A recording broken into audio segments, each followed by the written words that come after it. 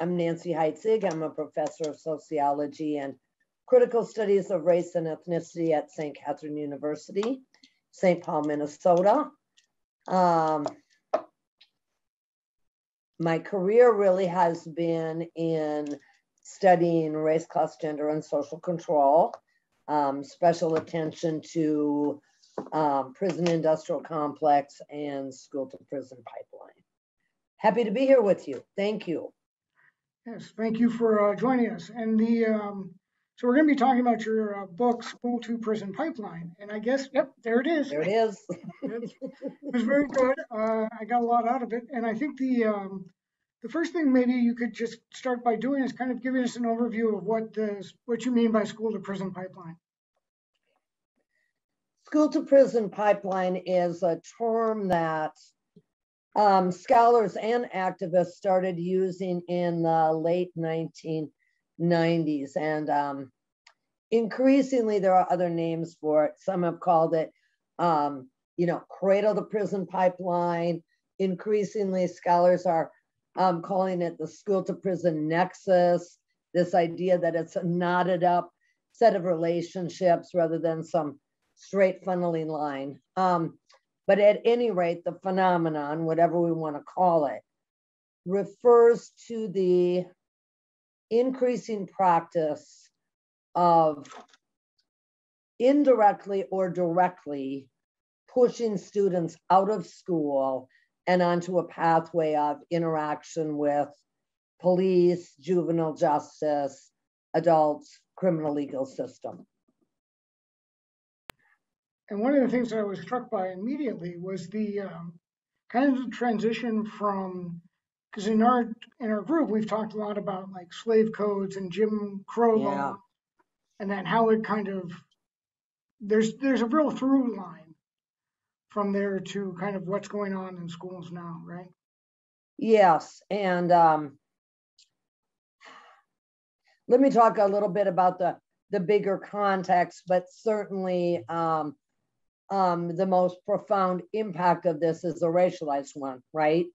Um, that it is um, BIPOC students, especially Black students, both boys and girls, who are, you know, disproportionately, overwhelmingly um, in these schools that are highly segregated by both race and class um, and that are disproportionately characterized by a police presence, um, well, a prison like atmosphere of surveillance and cameras and, and metal detectors. Um, but yeah, it is part of this larger context of, you know, and th- this series, if I'm right, is part of a 1619 project discussion. And, and yes, this is absolutely relevant to that. Um,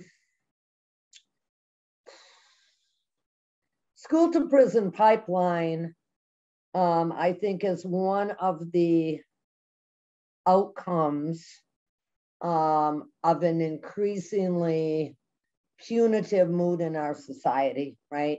Um, you know, we start to see in the 1970s the acceleration of um, incarceration. Um, we start to see, um, you know, war on drugs, um, which then morphs in many directions in terms of, you know, mandatory minimum sentencing, very harsh policies, um, pretty rapid and dramatic increase in the prison population. I mean, more than tenfold there were 200,000 people in prison in 1970, and there's 2.3 million people in prison and jail today. So that's a real explosive increase. Um, and of course, that increase is, um, you know, heavily racialized. I mean, who is in prison? Um, extreme overrepresentation of African Americans in particular, they're 13% of our population. They represent 40% of those incarcerated. Um, you know, class also is intertwined with all of this. Almost everyone who ends up, you know, funneled through the criminal legal system was, you know, in poverty or unemployed at the time of their commitment offense. So we've got this larger overlay of mass incarceration, punitive mindset, um, you know, that gets combined then with, you know, a neoliberal austerity regime, right? Where we only have money for military industrial complex or prison industrial complex that zero money for education or healthcare or housing um, or you know any kind of social welfare programming you know so that's the bigger context. And so if that's the larger mood um, we shouldn't be surprised i guess that it's drifted down into the schools you know. We first see it drifting into um, the juvenile justice system you know which that's its own long history isn't it um, you know, juvenile justice as a separate legal system is created in, um, you know, early 20th century, early 1900s. Um, and it's meant to be rehabilitative, you know, the idea that juveniles were not yet hardened criminals, they could be reformed, et cetera, et cetera. Um, you know, 99 problems with that. And, and, that, and that's probably another conversation for another day but we start to see um, a real hard move away from that, you know, in the 1980s, in the middle of our, you know, resurgence towards, um, you know, law and order. Um, so we see a legalistic mood drift into the juvenile justice system where we see more and more kids and overwhelmingly, I mean, the racial disparities in the juvenile legal system are even greater than that in the adult system. Um, you know, but we start to see um, more and more juveniles being tried as adults. Um, we get this, all of this emerges in the rhetoric around, um, you know, the hysteria over crack, gangs, etc. Okay. So all of this is kind of paving the road for school to prison pipeline. Um, the initial impetus behind that legislatively is something called the Gun Free School Act of 1994. Um, and I mean, who's going to be against the Gun Free School Act, right? I mean, that's that's always also part of this problem, right? The sort of pleasant names um, that we give pieces of legislation that make it difficult to oppose them. Okay, um, Gun Free School Act said this: um, school districts, if you want your federal education money, you need to demonstrate that you have a zero tolerance policy for guns in school. Um, you know, and so that anyone who turns up with a firearm at school needs to be suspended, um, well, in fact, expelled for a year. Okay, um, it doesn't take long um, on the school district level for zero tolerance for guns to become zero tolerance for weapons, right? Which might be the Hello Kitty bubble gun, you know, it might be a Nerf gun, um, you know, it might be a little paring knife for your apple in your lunch pail, right? Um, zero tolerance for weapons. So what's a weapon? Zero tolerance for drugs. What's a drug? Um, you know, and then it, you know, bleeds into all kinds of zero tolerance for all kinds of other really, really misbehaviors, right? Childhood misbehaviors. So that's the beginning of the pipeline, right? Zero tolerance, um, exclusionary disciplinary policies, as it's sometimes referred to. By the late 1990s, we get the other important piece of this, which is an increase in police officers in the school. You know, and this is partly in response to Columbine and some other infamous school shootings. Um, you know, the idea that if we increased a police presence at school, we could protect students. Um, and so from the late 90s, you know, onward, even to the present, we've seen a proliferation of police in schools. Sometimes they're called SROs, security resource officers, but they're almost always um, local police officers who've been hired by the school district to patrol the halls. You know, so those two policies lay the groundwork. I'll take a deep breath. Um, I, I guess one thing that I that that I should say right now is you know, the school to prison pipeline um, is not randomly distributed. Um, where, I'm sorry. Zero tolerance policies, um, a police and a security presence in school, um, you know, is overwhelmingly in inner city, quote unquote, urban schools, um, schools that are heavily segregated still, not just by race, but also by class. So, you know, we have these, you know, majority of students of color schools that are also majority poor. And in the school district that, that gets measured by percentage of students who are eligible for, you know, free lunch. Um, that's where it's happened. That's where the pipeline fl flows from. It's not from wealthy suburban districts, right? It's from city schools that are majority of student of color schools, majority of students who are poor.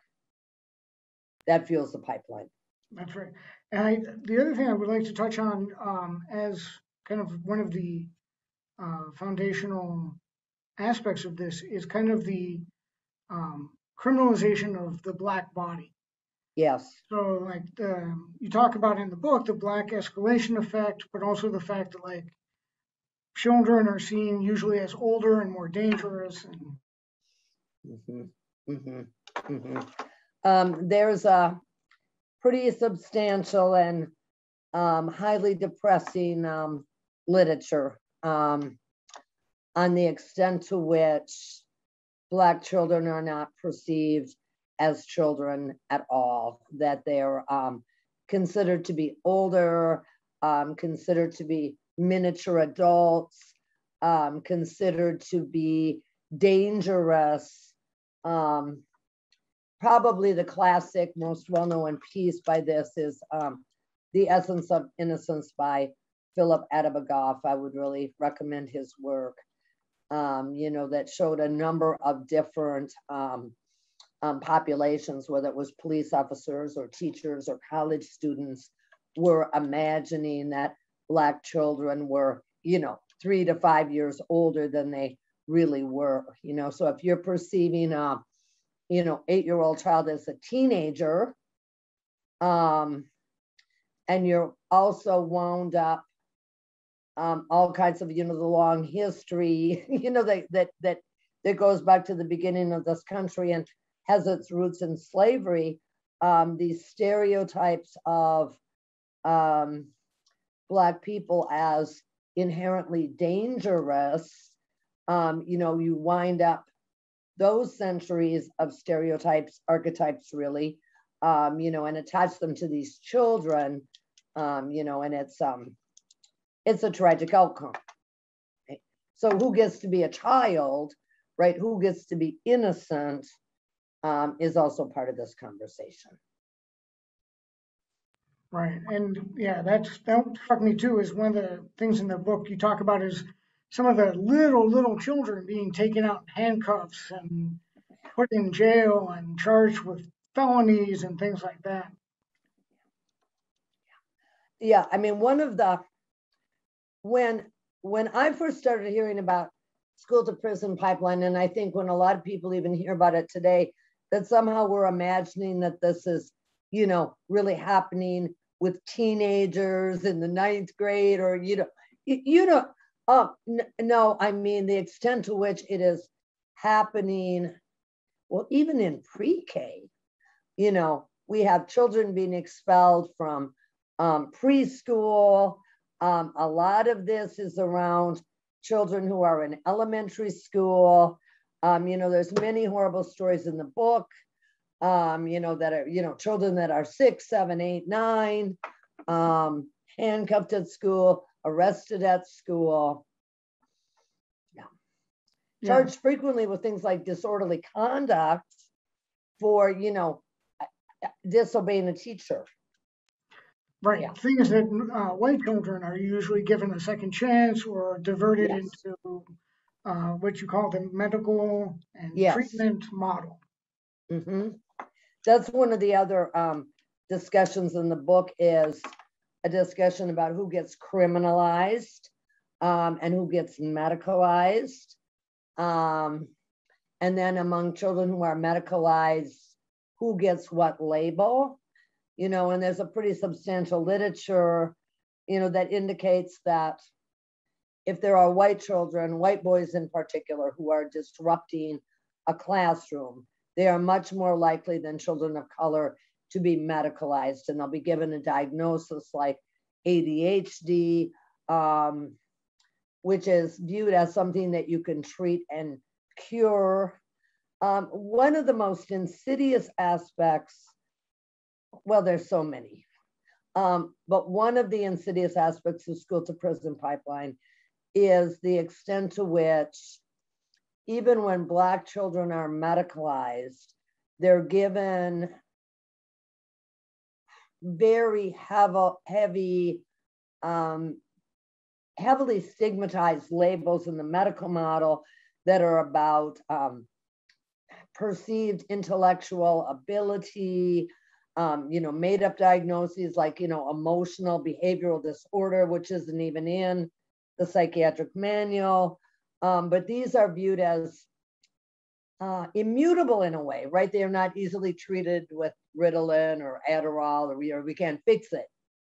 Um, it's a foundational problematic um, effect, you know, and then if we start combining um, variables and we start looking at who is the most likely of all to be pushed out of school via the school to prison pipeline, it's Black children who have a quote unquote disability label.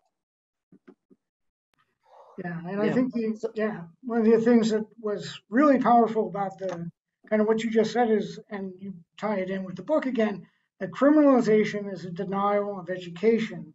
Yes. And then also that the, um, the medical stigma that you just talked about is another way of instituting segregation in the schools.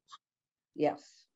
Yes. Because um, the kind of labels that Black children are more likely to get than white children are, are then labels that would lead them into special education um, classrooms or schools or um, some kind of individualized treatment plan um, that, yeah, that further segregates them even within the context of the public school system. Yeah. So to kind of um, wrap things up is what can we do about it? The last chapter of the book offers some um, ideas. Um,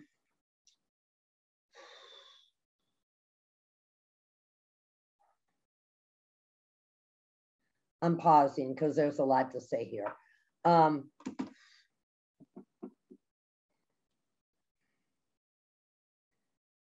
certainly there's the there's the um, the issue of policy change, um, and we might be getting back towards some of that again um, now under the um, the Biden Department of Education. Um, one one of the um, one of the policies um, of the Obama administration involved a um, joint effort on the part of the Department of Education and the Civil Rights Division, um, which began to treat school to prison pipeline and exclusionary discipline as a civil rights issue. Um, and Department of Education um, under Obama administration had guidance for this about, you know, move away from zero tolerance. Um, you know, of course, that was abandoned and um, you know partly dismantled um, during the Trump administration. Um, you know, th- there's some efforts now to bring some of that guidance back. Um, what hasn't been addressed by any administration is the question of police in the schools. You know, so short-term answer, sort of immediate thing, you know, it's get rid of zero tolerance policies, try to replace those with some, um, you know, positive behavioral reinforcement programs, um, restorative justice circles. There's a lot of models. Um, and, and then I would say number two, remove police from the school because that really accelerated the pipeline and did it in a pretty dramatic way. The, the earlier indirect version of the pipeline was, you know, you were pushed out of school, you were expelled, then you get into other trouble. Now, increasingly, it's like you went to school and you were arrested at school. Um, so if we could get police out of the school, you know, that's that's a big part of um, what I would suggest also. Um, you know, in the larger scheme of things,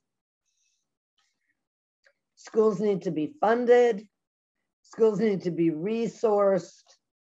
Um, you know, would you mind if I read something actually from the from the Oh, very do. end of the last chapter? Because I think it sums it up. Let's see if I can find it.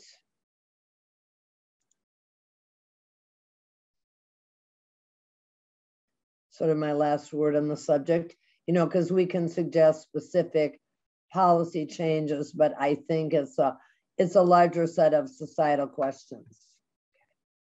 Dismantling the school to prison pipeline necessitates a rethinking of the punishing state and privatizing ethos that has permeated all aspects of life. It requires a shift towards reinvestment in institutions that serve rather than deplete the public good. It requires an interrogation of the carceral state in all of its manifestations, including perhaps especially the school to prison pipeline. In the end, dismantling the school to prison pipeline will require us to attend to both the school and the prison, to confront the cloud of colorblind racism that shrouds them each. Ending the school to prison pipeline requires us to meet this challenge. And now I'm quoting Angela Davis, who's always a touchstone to me. Right? The most difficult and urgent challenge of today is that of creatively exploring new terrains of justice where the prison no longer serves as our major anchor. Yeah, it's very, uh, very profound and that's a lot of work to do, I would say.